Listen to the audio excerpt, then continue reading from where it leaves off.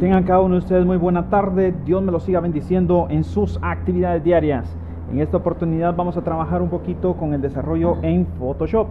Vamos a comenzar directo con el trabajo. Muy bien, vamos a, a trabajar en esta oportunidad con lo que es el cambio, o mejor dicho, agregar lo que es una nariz de gato en este caso a nuestra modelo. Comenzamos primero quitándole el candado a nuestras imágenes. Luego de ello, pues regresamos a la foto del, en este caso de esta nariz. Procedemos a copiar. Copiamos, nos vamos a la otra imagen y pegamos. Muy bien, en este caso pues nuestra imagen excede lo que es el tamaño. Procedo en este preciso momento a presionar lo que es clic derecho convirtiéndolo en objeto inteligente. Luego de convertirlo en objeto inteligente, ahora le digo edición, transformación libre. Y empiezo prácticamente a cambiarlo con lo que es el tamaño. Bueno, si usted puede apreciar, la forma de la nariz va hacia la izquierda la nariz, de nuestra modelo va hacia la izquierda y la nariz del, en este caso del gato, va hacia la derecha. Para girarla me voy a uno de los puntos cardinales y le doy vuelta. Así de sencillo. Ahora empiezo a darle su respectiva posición y para terminar de verificar si la posición que estamos agregando la nariz es correcta, podemos bajar lo que es nuestra opacidad. Al bajarle la opacidad, usted puede ver que se vuelve como transparentusco y eso va a permitir poder darle el punto de, de referencia exacto para poder instalar esta nariz.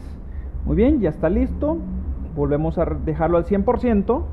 Le damos clic para validar y ahí está listo. Ahora vamos a utilizar lo que es la herramienta de borrador. Con el borrador voy a proceder ahora a eh, a eliminar todos estos bordes. Eso sí, la opacidad yo la voy a reducir porque mi idea es que vaya eliminando esas líneas del borde cuadrado. Continúo con lo que es la eliminación para que se vea lo más natural posible y así lleve ese tipo de degradado. Se dan cuenta, vamos, estoy usando un pincel en forma de degradado para que esta forma no vaya a tener inconveniente con, un corte demasiado exigente. Si usted se da cuenta, si usted lo puede apreciar, ya nuestra nariz empieza a tomar forma. Y prácticamente se nos empieza a adherir a la piel de nuestra modelo. Bastante sencillo esto, lo único que requiere es práctica y sobre todo lo que requiere es dedicación.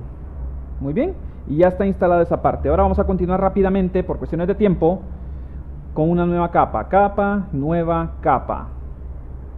Vamos a ponerle eh, cabello. Voy a proceder en este momento a cambiarle lo que es el color del cabello. Selecciona la imagen original, selecciona herramienta de selección rápida y ahora empiezo a seleccionar el cabello, en este caso de nuestra modelo.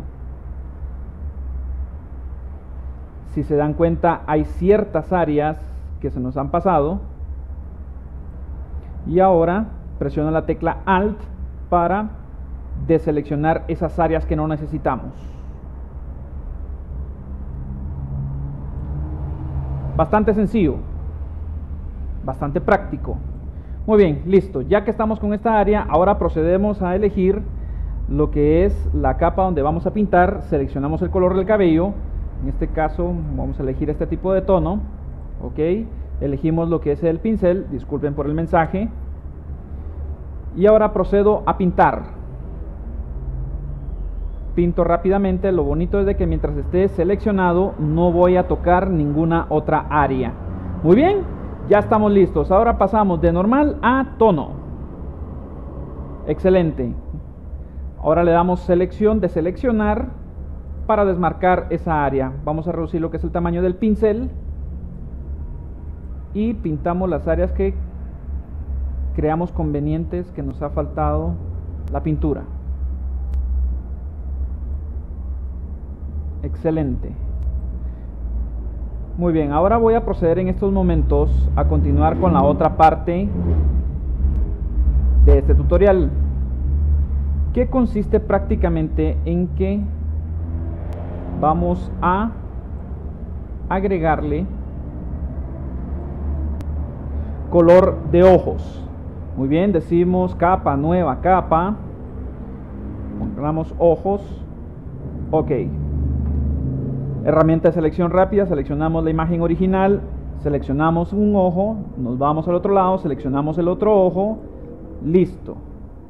Regresamos a la capa, procedo ahora a pintarla siempre con el mismo color, dejándolo de esta manera.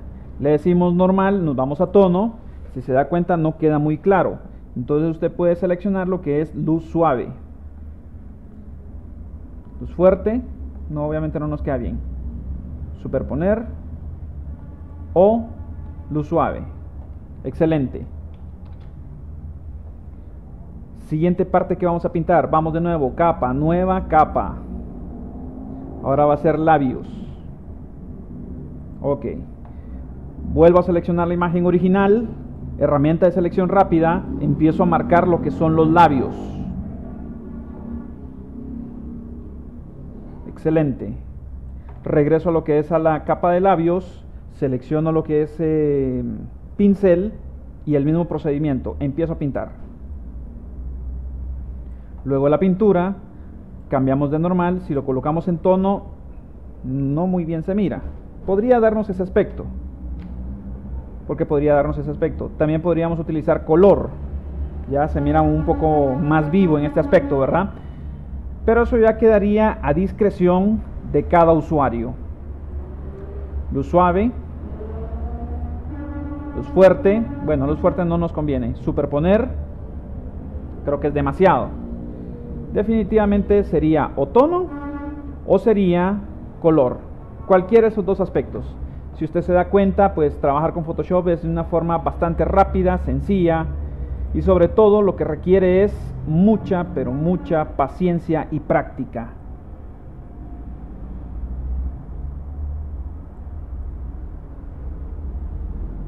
Es cuestión de que usted en casa pues practique constantemente.